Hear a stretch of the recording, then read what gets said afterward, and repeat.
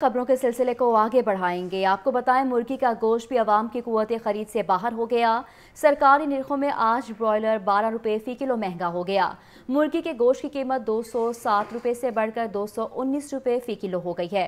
तफसीला जान लेते हैं अब्दुल कादिर मदनी से। जी अब्दुल कादिर। सप्लाई है, वो मुतासर हुई है, जिसकी वजह से मुर्गी का गोश्त जो है बारह रुपए फ़ी किलो तक महँगा कर दिया गया। गुजशत रोज ब्रायलर गोश्त की कीमत जो सरकारी नेतनामों में दर्ज की गई थी, वो दो सौ सात रुपए फ़ी किलो थी। आज बारह रुपए इजाफे के बाद दो सौ उन्नीस रुपए फ़ी किलो मुकर कर दी गई है। इसी तरह ज़िंदा ब्रायलर की कीमत में आठ रुपए का इजाफा हुआ है। होल सेल मार्केट में ज़िंदा ब्रायलर जो है वो एक सौ तैंतालीस रुपए फ़ी किलो, जबकि परचून मार्केट में ज़िंदा ब्रायलर की कीमत एक सौ इक्यावन रुपए फ़ी किलो मुकर की गई है।